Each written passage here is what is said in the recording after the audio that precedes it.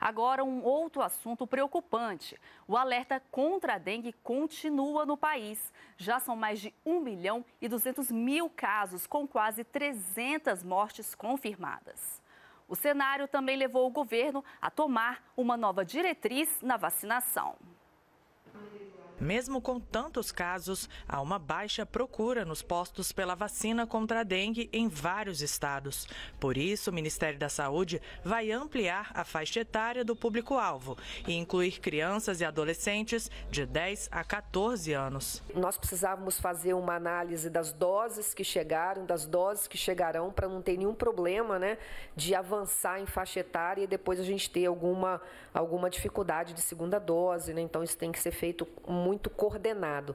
Então, o Programa Nacional de Imunizações vai, vai então amanhã é, emitir uma nota para dando essa possibilidade de ampliação dentro da faixa etária de 10 a 14, né? É, e aí trabalhando para que se possa fazer 10 a 14 de uma vez só. O Brasil foi o primeiro país no mundo a incluir a vacina da dengue no sistema público de saúde. Ao todo, o Ministério da Saúde recebeu 6 milhões e 500 mil doses para atendimento de forma gradativa. Para ser imunizado completamente, é preciso tomar duas doses no intervalo superior a 90 dias.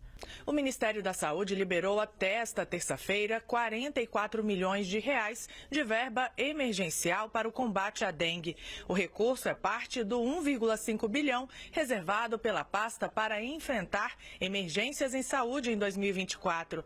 Para receber o recurso adicional, estados e municípios devem declarar emergência em saúde e apresentar um plano de ação contra a dengue.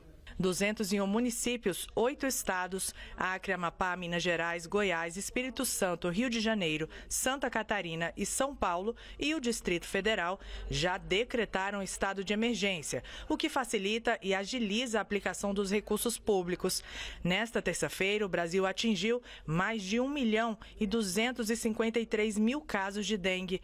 Há 299 mortes comprovadas e pelo menos 765 óbitos óbitos estão em investigação para saber se há relação com o vírus. Hoje, o Estado de São Paulo é, decretou emergência em saúde pública por dengue, então também estaremos naturalmente junto ao Estado de São Paulo é, nesse tipo de trabalho, onde se fizer necessário. Né? Rio de Janeiro, enfim, é uma característica assim acentuada dessa aceleração de, casos no início do ano é, que nós vemos associado muito fortemente à mudança climática, como já foi colocado aqui, né, impacto do fator El Ninho.